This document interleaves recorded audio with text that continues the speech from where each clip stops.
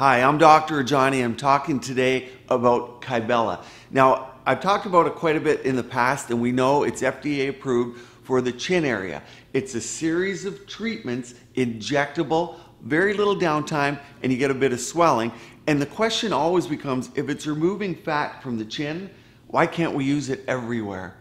Well, in a sense, you can. If there's a fat cell and we inject this product, it, it, essentially explodes the fat cell and it dies off and it's permanent. So that's a good thing. The negative is it's a fairly expensive product to cover a large surface area, which is why the next area it'll likely be approved would be the bra fat. We can use it on the love handles and post liposuction because those are relatively small areas it keeps the price down, but again, you need a few treatment sessions if you're treating love handles. For post liposuction, where there's a few irregularities, it actually works amazing. And for the most part, you only need one treatment session. So it's very cost effective. And that's one of those situations where people often don't want to go in for surgery again if they've had liposuction. There's downtime, obviously, risk of infection, and lifestyle modification.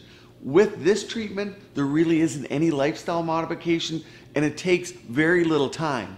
Here you can see I'm injecting love handles. We cleanse the area properly and thoroughly and then we inject at one to two centimeter intervals to reduce the fat. And in this particular person, they already had CoolSculpting, but there was just a small area that was very difficult to grab with a cool sculpting applicator.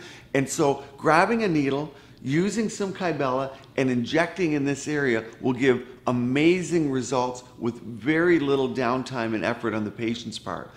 So that's love handles and post liposuction with Kybella. It's actually a great treatment, fairly cost effective, and for a lot of people, not having that downtime of surgery saves them money and time in a different manner. So the cost of Kybella kind of becomes a wash, and they're just happy not to have to have surgery and get rid of pointed, stubborn fat. So that's Kybella off the chin for body use, a great treatment. I think we'll see it expanded. Thanks for joining me on this YouTube channel.